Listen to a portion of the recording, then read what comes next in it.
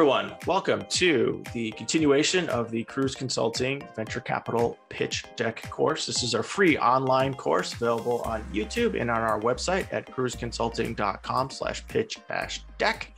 K-R-U-Z-E consulting.com pitch slash deck. We're going to be talking about the traction slide here. Uh, as always, I am with my wonderful co-pilot and partner, Haje, who is a well-known pitch deck consultant and TechCrunch uh, journalist and also a company. He's founded multiple startups. He's raised venture funding. He's been a venture capitalist. So um, I've been a VC. I advise a lot of companies raising money. I've worked for startups. So we're not going to go through the details of who we are. We've done that in previous um, parts of this course. You can loop back to any of those to see who we are and why we're here. But let's dive in. Let's talk about traction. Love it. Who is this slide for? In good hands. so yeah, um, I think the traction slide is actually super interesting. Um, I um, I talk to all of the people I work with, all my clients, about uh, the traction slide, and and kind of the the rule of thumb is if your traction is amazing, front load it. Um, in in um, in this kind of universe, like if you have traction, you need nothing else. Because every other weakness in your company, you know, if your team is kind of so-so, if everything, if your product is so-so, it doesn't matter. If you have incredible revenue metrics and incredible traction, clearly it doesn't matter that these things don't work, right? The reverse is also true. If you have the best team in the world and you have the best product in the world, but you can't get traction, it's it's a hard argument to invest in you because clearly something isn't working. Traction is such a beautiful, um, or the right kind of traction is a beautiful um, sh- like proof for whether or not you've found uh, your product market fit. And so that's where this slide is so important.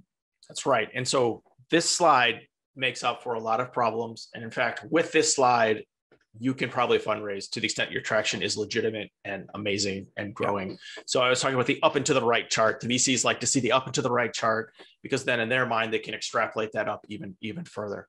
Um, every company is going to have different, or not every company, but different industries have different KPIs that will go into this. We're going to get into that. Um, but one of the things that I want to make sure we emphasize here is that there are going to be companies that are fundraising that don't yet have traction it's not unusual for a pre-seed, an angel round, maybe some seed companies to not really have a lot of traction.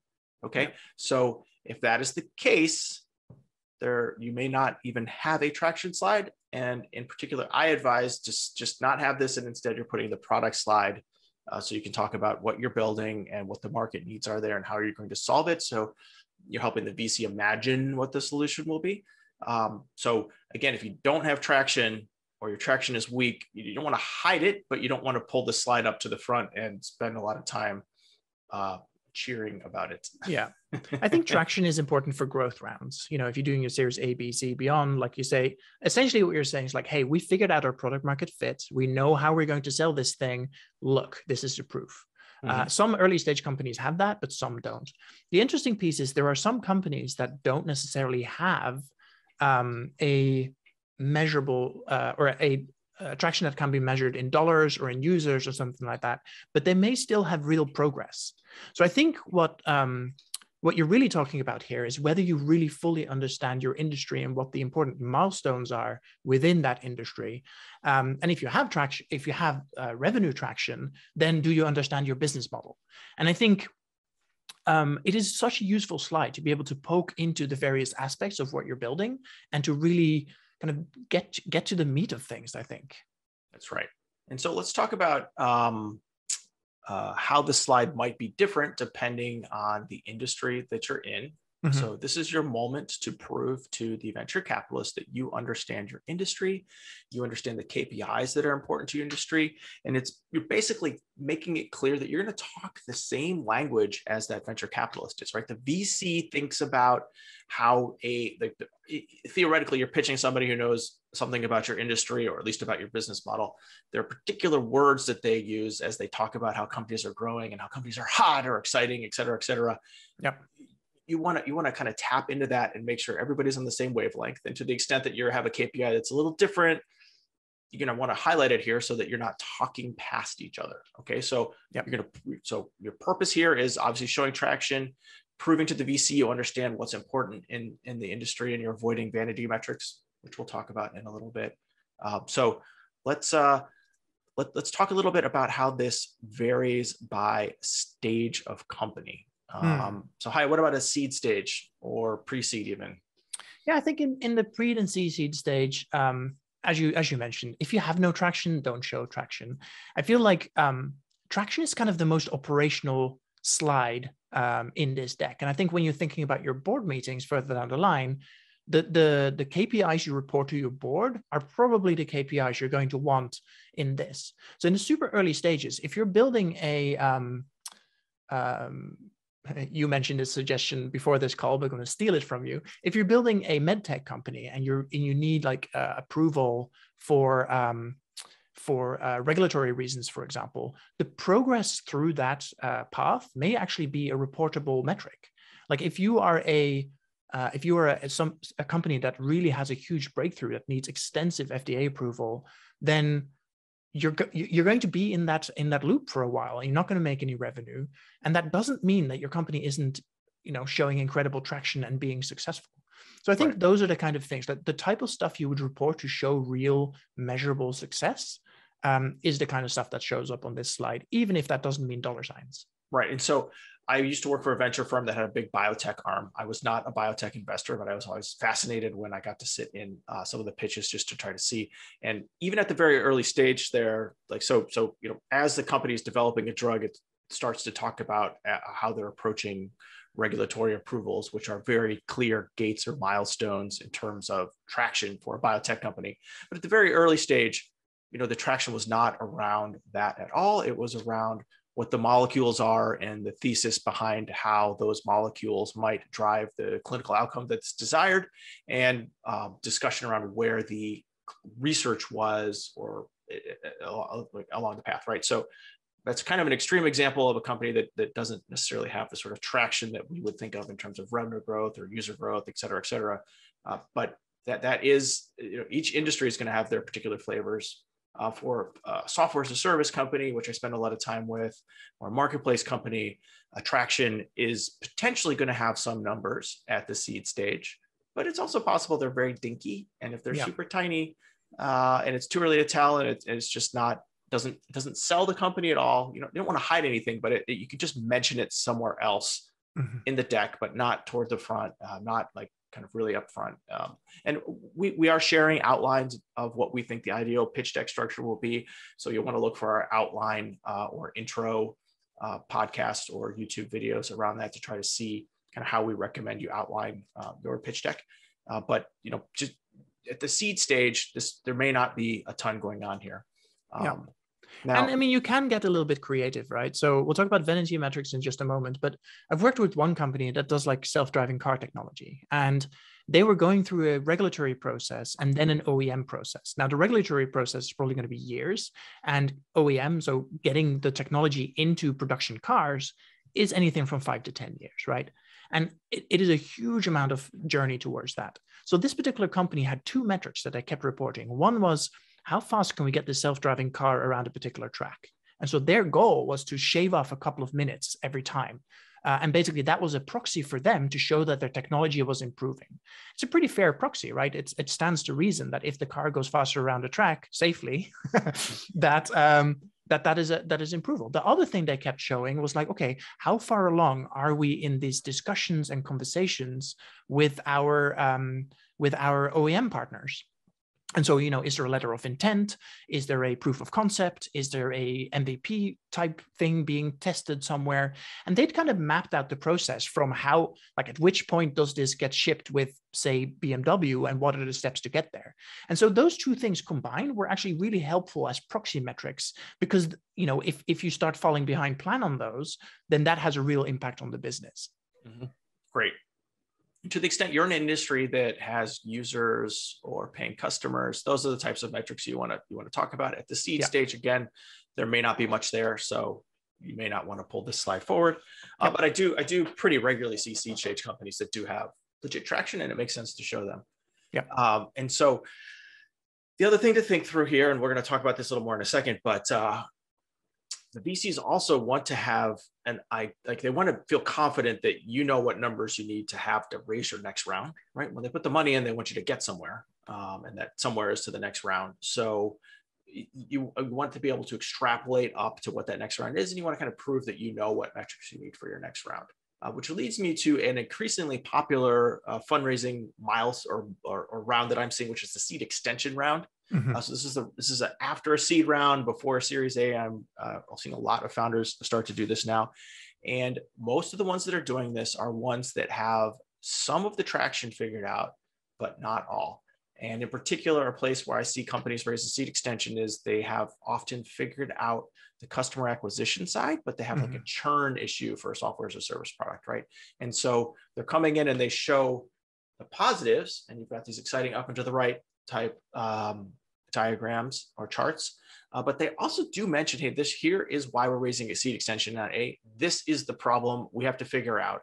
And there may be a whole slide that talks about how they're going to figure it out. But the goal of that part or that pitch is to show, hey, I am sequentially knocking down the pins that I need to knock down to get to the next stage. And yep. so I've knocked down these few, and you should feel very good about me because I figured that out. Here's the next ones. I know what they are, and I've got I'm making progress toward them, and I've got a plan. Yeah, um, and I love so, that you use that as as an example because I'm working with a startup right now that has the exact opposite problem. They have incredible lifetime value, but they can't figure out their customer acquisition cost. Mm. And so what they're doing is they're saying, okay, what we're going to do is we're going to raise uh, three million dollars to extend that seed extension piece. It's like, okay, we know that once we have our customers, they generally don't churn. We make a lot of money. Now we just need to crack the nut of finding new customers. And both of those sides, is kind of two sides of the same coin, right? Two sides of the CAC uh, LTV arbitration piece. But if you manage to get to that, um, if you solve one half of the metric, you don't have a repeatable business model, so you're not ready for a for a for a, a growth round. But you've definitely found something right? There's there's one important piece of the puzzle that's clicked into place, and if you manage to crack the um, customer acquisition cost nut, and then you, would better have some slides in that deck about how you're going to do about that, exactly. what your theories are, right? Exactly. So, and it could be like, oh, are we going to do PR? Are we going to do payback? Are we going to hire a sales team? Whatever the solution is, you need to have some things and then say, give me $3 million and I'll go and crack this nut. And if you have a compelling argument there, then that's actually a really good pitch. Invest, venture capitalists are used to taking risk. Right. They're used to what? taking risks. What they what, what they don't like is when they're they don't like it when a founder doesn't understand that there's risk.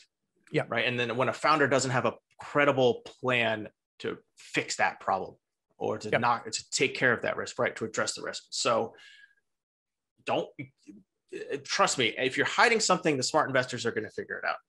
Although maybe not at the seed round. There's a lot of uh, pretty uh, unsophisticated money from here at the seed round. But the A, which is the next one we're going to talk about, right? The Series A. Yeah.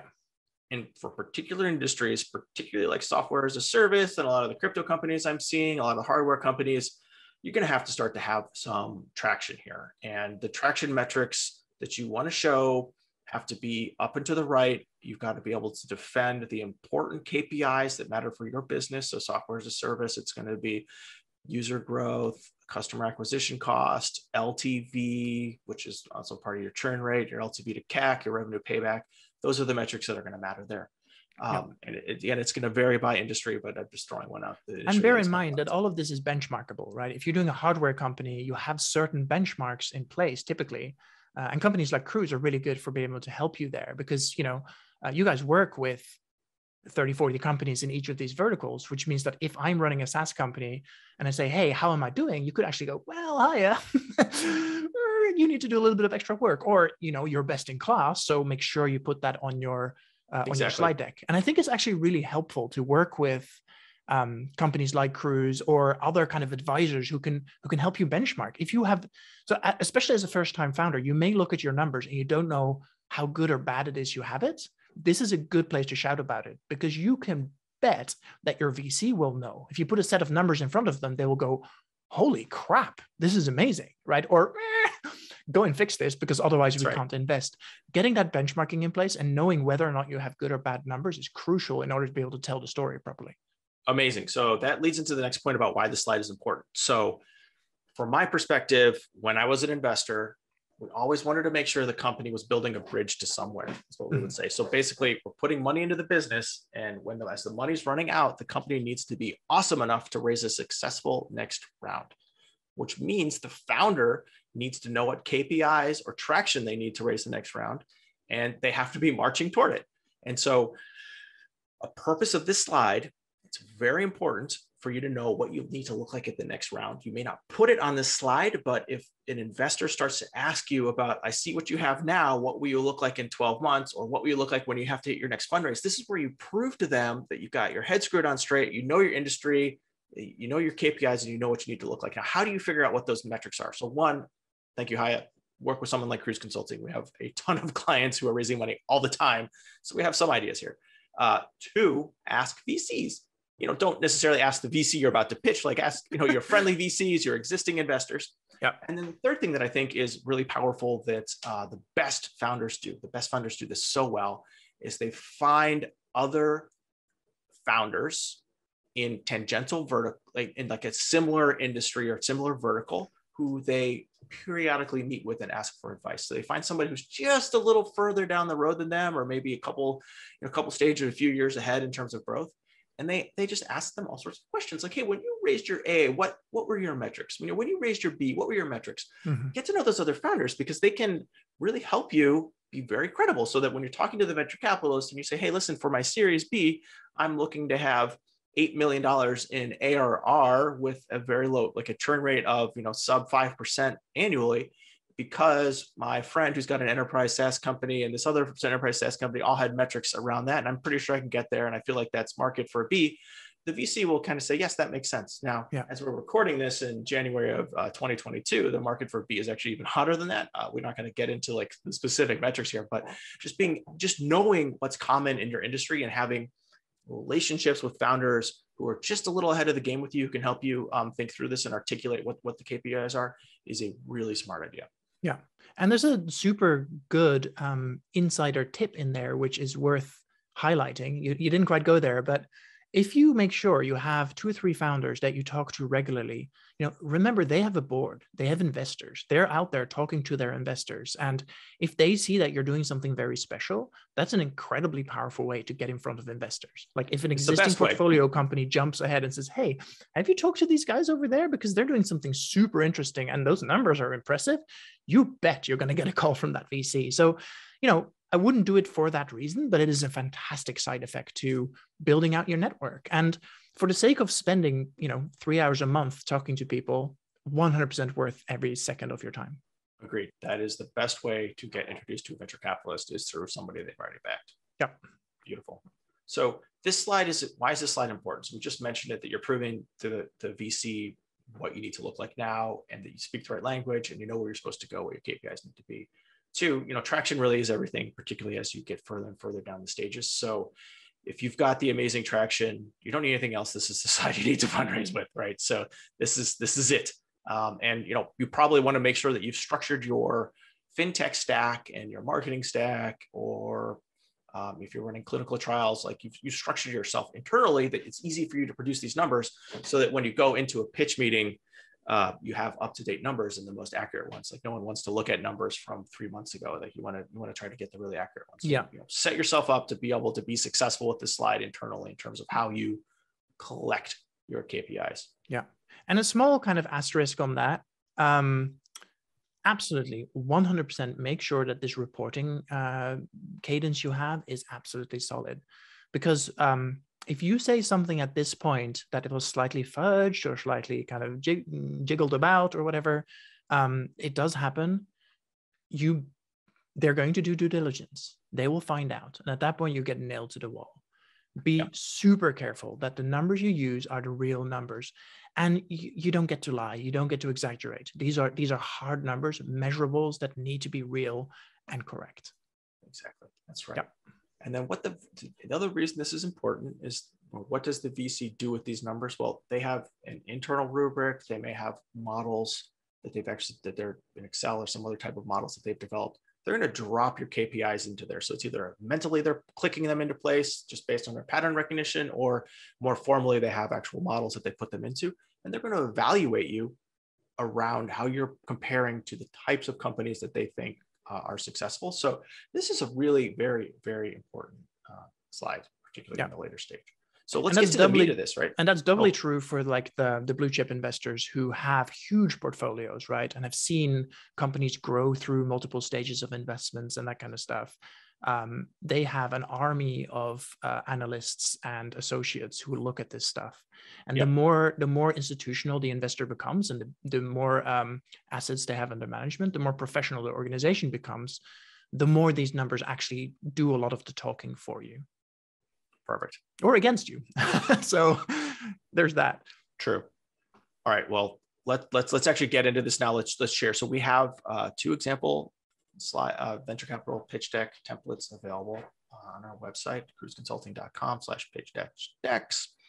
Uh, these are we have two businesses that we invented. Uh, please don't judge us on the businesses that we're supposed to be slightly silly. There's we're not starting these companies. Um, we have a, uh, a consumer focused business and we have an enterprise focused business. I'm going to share the screen for these two. Um, and uh, we feel like one of these is actually a pretty good looking um, slide, and the other one is actually on the weaker side. So yep. the enterprise one, which is our we call the four Ps company, uh, has good a good looking traction slide.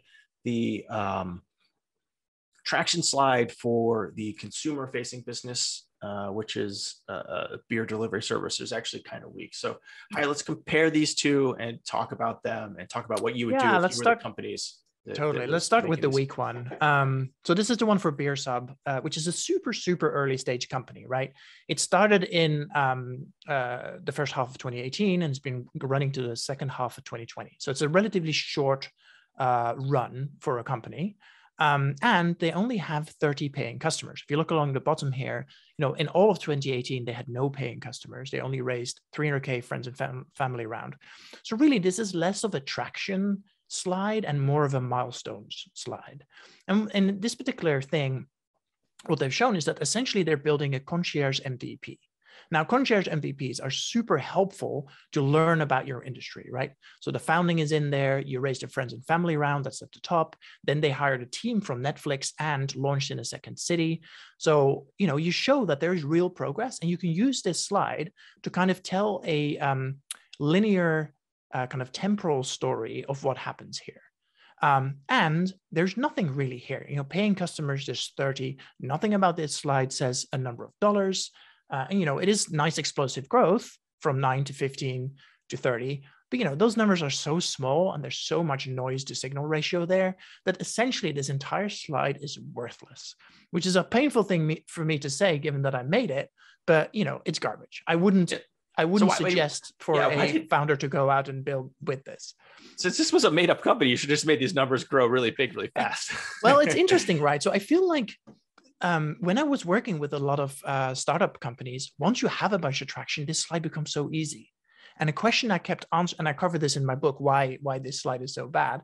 But I, um, uh, you know, once you have your metrics and you understand how to tell that story, this slide becomes easy. Where it becomes really hard is for super early stage companies, and they keep hearing, you know, they keep downloading templates that have like a traction uh, slide on it, and I go, what do I put on the traction slide? Well, we've just covered that, which is don't delete it, get rid of it. Um, and I think that this is actually a funny um, side effect of writing this book, essentially for first-time founders who who run into this problem. By the time you do raise a, uh, a growth round, you probably know how to do a traction slide because you're yeah. doing your board decks. You know. True. True. Yeah. So I mean, and as I think about this, as an early stage business, like particularly the consumer side, I'm not sure these numbers are even that impressive. I don't think the doubling over a quarter is no, is it really isn't impressive. So, and it's so not even business, quarters; it's a half. So yeah, oh gosh, yeah. So this business, yeah, no, they're awful. Okay, perfect. So now uh, makes sense to talk about an enterprise slide. Uh, enterprise is different than consumer. So let us share this one. This is for our uh, example company, our four Ps company that sells to the plumbing industry, enterprise sale, like small business enterprise sale into customers. Um, Haje, look, let, let, let, let's talk about what we got on here. So first of all, I love having an ARR up and to the right. It's amazing. Yep. We've got users as well. Uh, this is this is really attractive. Um, talk about it from a design perspective. Like, what's the thought process? Why does the slide look like this? Yeah. So, what I really wanted to do here was to kind of cram several pieces of information into one slide. Um, I mean, for one thing, the stock image in the background makes it look plummery, so I like that. But from the data point of view, um, you know, the the ARR, the the um, annual recurring revenue is really one of the big driving forces behind any sort of SaaS company.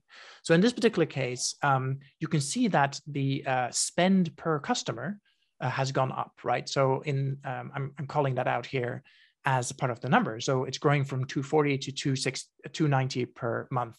Now, uh, in a later slide, we'll be talking about what the business model is. And we're actually uh, about to do a price change, which does really exciting thing. But because this is looking back in time, it shows what the company has done so far. And it looks like it was charging $20 per customer, and that has gradually started going up throughout the year.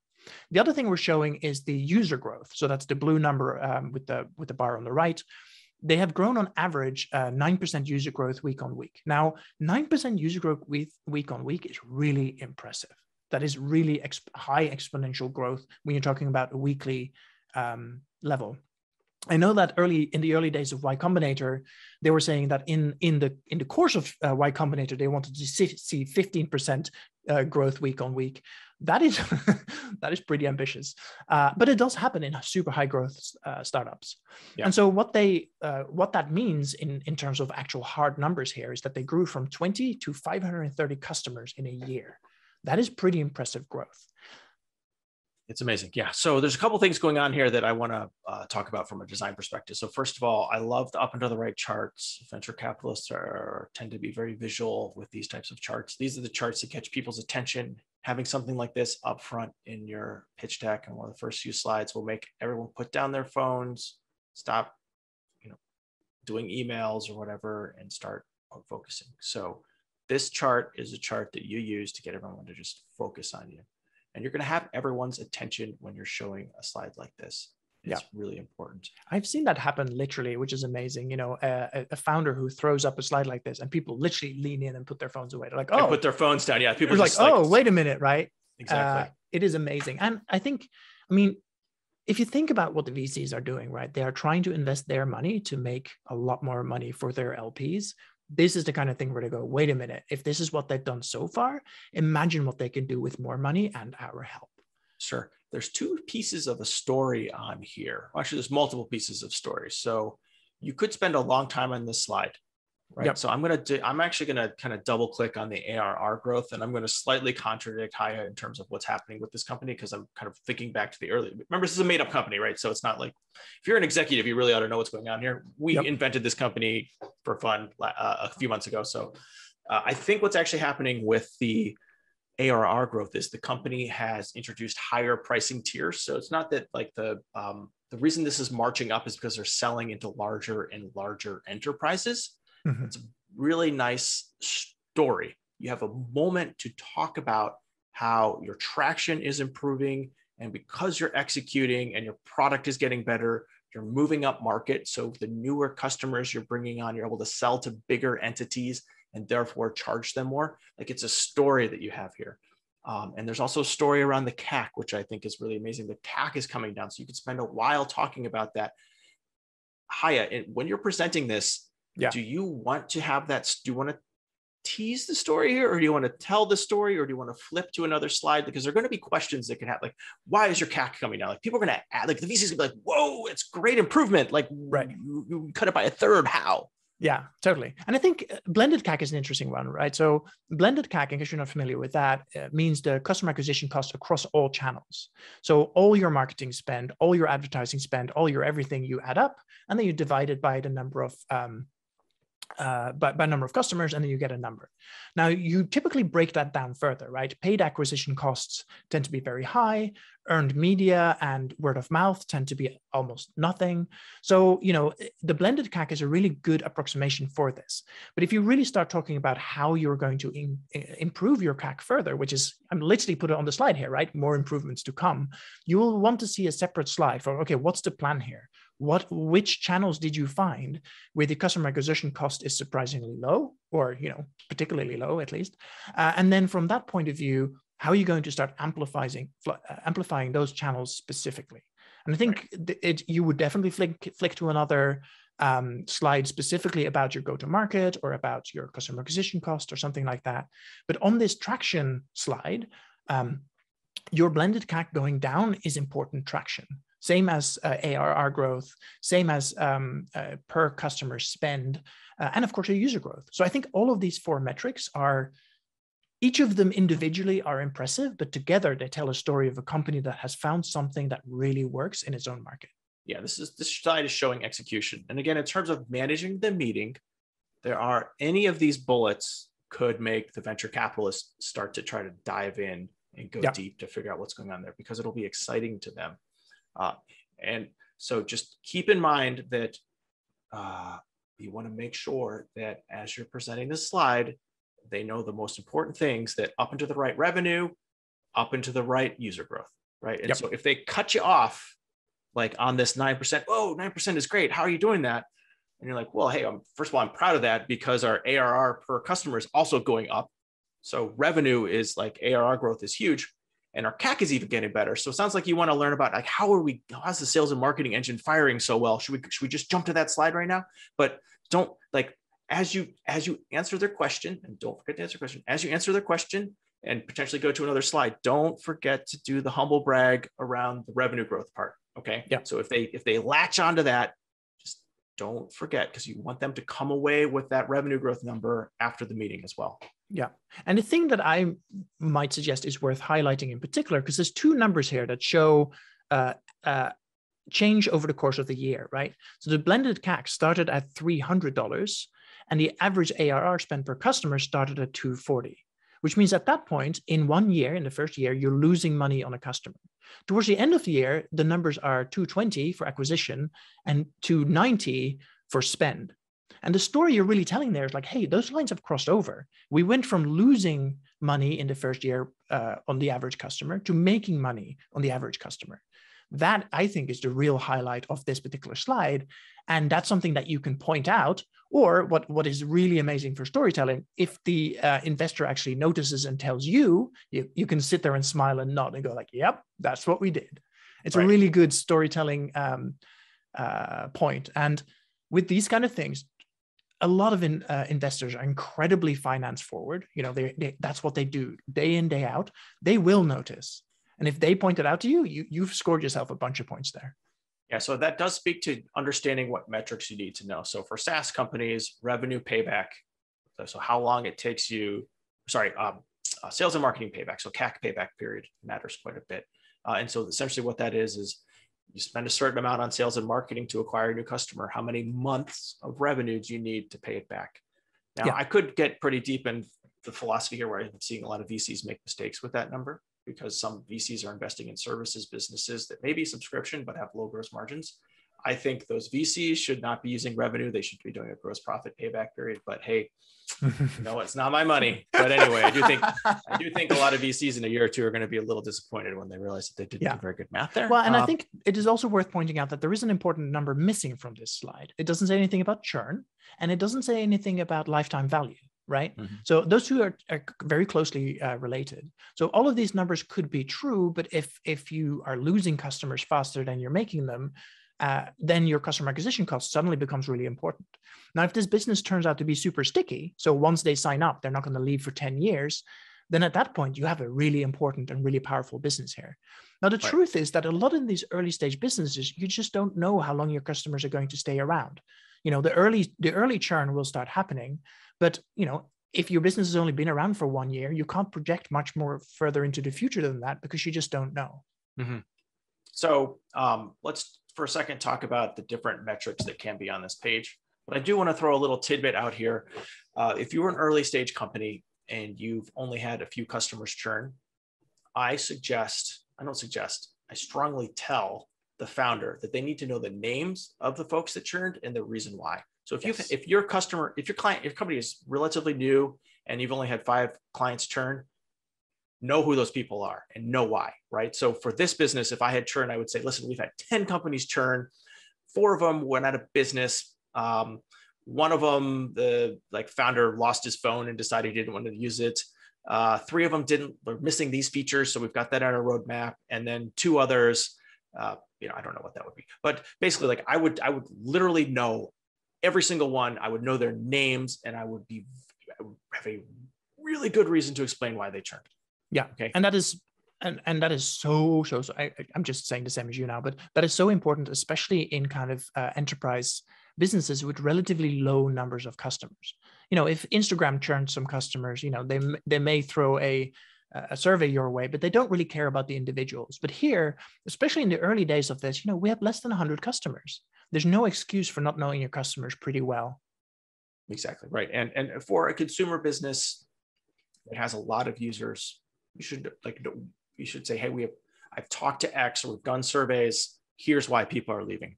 100%. Right. So you need to know this. Uh, other metrics that you can put onto the slide. So obviously revenue's king, uh, which again does not matter for a biotech company or maybe some hardware companies that have, have yet to launch a product, right? Because they're still producing it. Uh, but revenue, deposits or pre-orders, subscriptions, people committing dollars, like actually dollars coming into your business, that is the ultimate form of traction. Other other things are like user acquisition metrics, and then um, how you, you like to talk about leading indicators for a business, and this this helps you prove what that you know what the KPIs are for your business, and you understand whatever funnel drives to like the right traction. You want to talk about some of those? Yeah, I mean, a lot of the challenges you have with traction is that it's all oh, you're standing where you're standing, you're looking back, right? And the hope is, can you figure out a, a, metric that actually helps you look forward? So, like, can you predict the future using some of these metrics?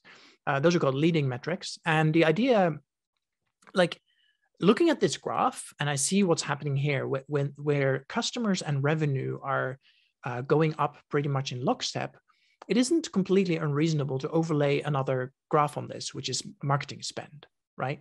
And if your marketing spend actually goes up in, in a similar kind of graph as these, then you can very realistically say to an investor, like, hey, our marketing spend goes up at the same pace as our user growth, which means if we 10x our marketing spend, our user growth will probably 10x as well. We did an experiment. We tried for a couple of weeks to spend a little bit extra, and it looks like that is true. That makes for a really compelling argument that you have a tap that you can turn on for rapid user growth and turn it back down when you need to kind of focus on product or whatever. And then yes. you can have a conversation with your investors about, hey, where do you think is most strategically important right now? Should we go for hyper growth with customers? In which case, give us $10 million and we'll spend it on ads and we'll get those customers? Or are we building something else here? Are we building product? Are we building team? Are we like what where do we focus? And that makes for a really interesting strategic conversation with your board but it also means that you have a few levers you can pull that has a direct uh, impact on how your business grows.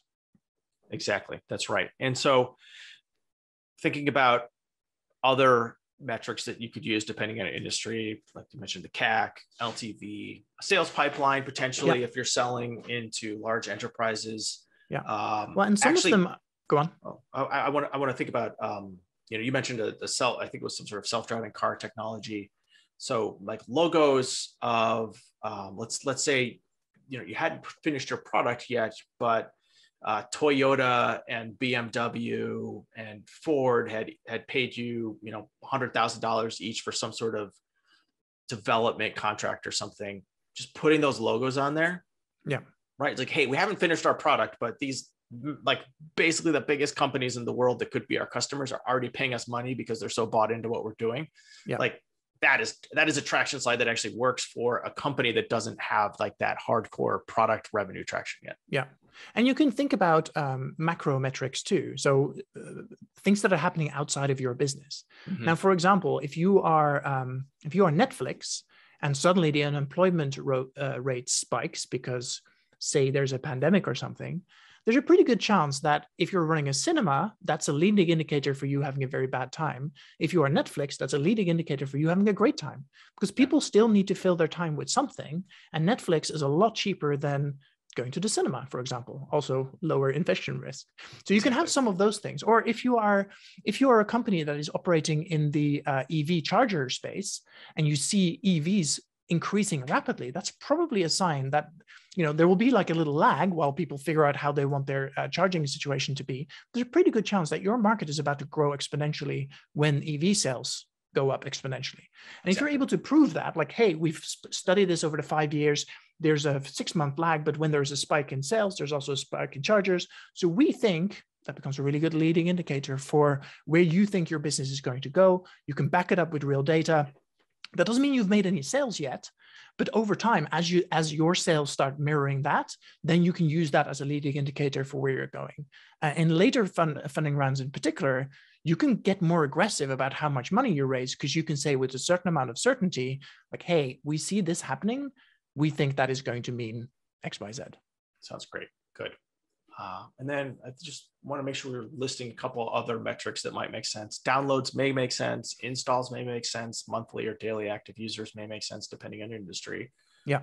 But then that gets us to our next point, which is you do want to avoid vanity metrics, metrics yep. that are just big and up to the right that mean nothing for your business. Yeah. Um, There's a lot of those. Um, yeah. And I always think that if your metric doesn't have a direct um, impact on your bottom line or on one of your indicators you do care about, they're vanity metrics. It doesn't matter that your website suddenly has a 10x spike in traffic. If it doesn't equate in some sort of uh, extra amount of sales, it's just cost to you. Right. Right. It doesn't matter if you're, you know, if you get inquiries, for example, for sales, if you suddenly get 30 times more inquiries, that's a real cost. Somebody has to sit there and reply to all those emails. But at the same time, if that doesn't convert it to sales, you know, it doesn't matter. Same thing, like we can get super meta here, right? This very podcast, this very uh, video series costs us time and money to make. And if that doesn't convert into, say, sales for Kruze or you know book sales for me, then that doesn't. It, it's a waste of time all around. Now, I really believe that I will do both of those things, so that's great. But you know, you have to you have to measure the right thing and hand on heart be honest with yourself. It feels great to get uh, press coverage. It feels fantastic to get a bunch of customer inquiries. If those things don't convert into business metrics you care about you're you're focusing on the wrong thing.